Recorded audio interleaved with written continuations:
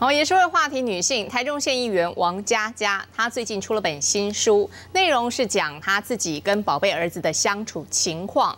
不过呢，她的老公其实也是正在闹离婚的下资小开王子豪，就是寄出了存证信函，因为他认为王佳佳出这书涉及了侵害家族的隐私权，不排除要追究法律责任。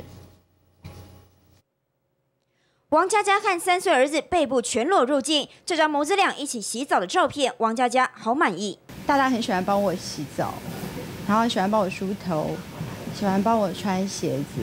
王佳佳将近两百页的新书中，主要讲述的都是和宝贝儿子相处的点点滴滴。说着说着，王佳佳突然眼眶泛红。除了感谢，还是感谢。嗯，这本书我大概花了。一年多的时间完成。好爱宝贝儿子，但是书中却没有一张王佳佳老公，也就是夏子小开王子豪的照片。两个人离婚官司还在打，王佳佳信誓旦旦的说，为了宝贝儿子，绝对不离婚。但是书中一段描述家暴的法律案例，却让外界很好奇，王佳佳是不是在影射自己的婚姻状况？我身边的人所发生的遭遇，然后我的所见所闻，如果故事的情节有雷同，纯属虚构。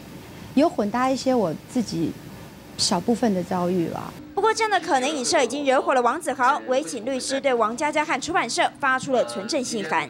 身为一个中华民国的国民，每一个人都有出书的权利。